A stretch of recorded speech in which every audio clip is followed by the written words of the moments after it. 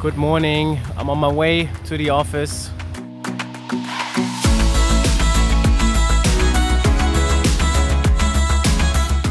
The idea to coach, to help people has been there always since in school times I've been trying to help people. Then being a consultant with the Information Lab Germany, I taught many, many, many uh, customers. And since about a year, year and a half, I've been focusing my role on the data school, on helping people uh, learn and grow inside of this great initiative.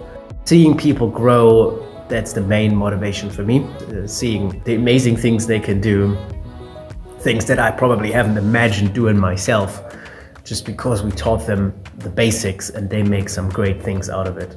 It doesn't even feel like work, it's just like having a puzzle and uh, you solve it and uh, you're really happy if it works and if it doesn't work you will learn something new. I really like focusing on problems, finding even problems, and uh, um, in, in, the end, uh, having an answer for them. So the four months of training, they're hard, they're tough, they're intense. But you never have the chance to invest in your own human capital in such an efficient way, like in the data school. Everything that we, we teach, everything that we learn is needed in the data analytics job. There's a big part in the curriculum, which is our customer projects. Those are a safe environment with actual customer and real world data for the data schoolers to learn. The data school is a unique combination of getting trained and getting work experience by really good people. And you get paid for that. I mean, how cool is that?